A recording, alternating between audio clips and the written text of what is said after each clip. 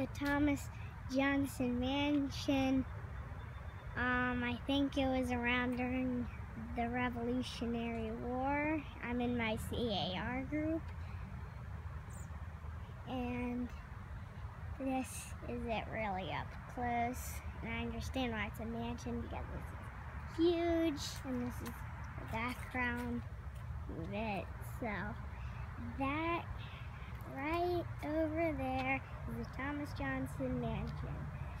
And if you want to go inside, if you want to go inside it later, leave a big thumbs up. Bye.